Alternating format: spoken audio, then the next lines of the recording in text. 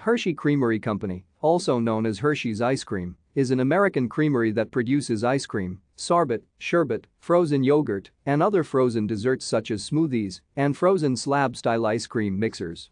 It was founded by Jacob Hershey and four of his brothers in 1894 and taken over by the Holder family in the 1920s.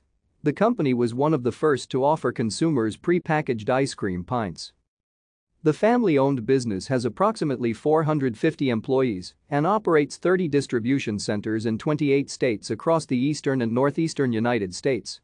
It is a publicly traded company, with its stocks listed only on pink sheets as the company offers a limited number of shares to potential shareholders.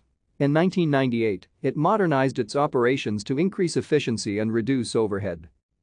Hershey Creamery Company has no connection to the Hershey Company, a candy manufacturer, though both companies were founded in Lancaster County, Pennsylvania, in the same year.